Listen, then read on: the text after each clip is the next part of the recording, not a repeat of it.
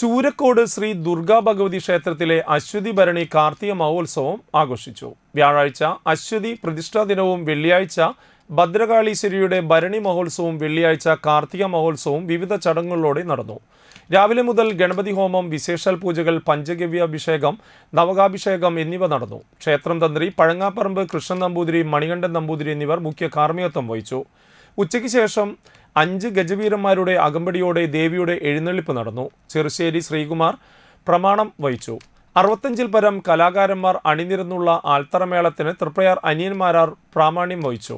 ആഘോഷ ചടങ്ങുകൾക്ക് ക്ഷേത്രം മുഖ്യ രക്ഷാധികാരി പാതിരിശ്ശേരി മനക്കൽ ശങ്കരൻ നമ്പൂതിരി ഭാരവാഹികളായ president Narayanan Kolayambarambath secretary Rajeev Sukumaran treasurer Gireesh Kumar Kolayambarambath vice president Sanoj Kallat joint secretary Bharathan Kallat auditor Ramankutty Nedungattil എന്നിവർ നേതൃത്വം നൽകി. നിരവധി ഭക്തരും പങ്കെടുത്തു.